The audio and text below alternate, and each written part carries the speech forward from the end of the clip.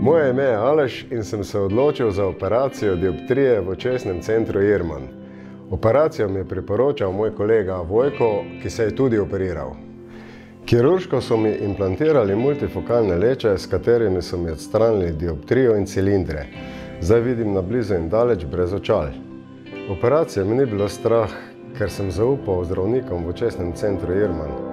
Operacija ni nič strašnega in nič ne boli. Že drugi dan sem videl brez očal. Uh, tudi jaz ne potrebujem več očal. Edino mogoče, kar bi dodal, je, da so bila oba operirana s pomočjo posebnega laserja, ki omogoča, da je operacija še bolj varna in natančna. Pri očesni ordinaciji Irman mi je všeč ravno to, da poleg velike strokovnosti veliko dajo tudi na najmodernejše naprave. Povedali so mi, da so v tem delu Evrope prvi začeli z uporabo tega laserja, s katerim smo bila tudi mi dva operirana.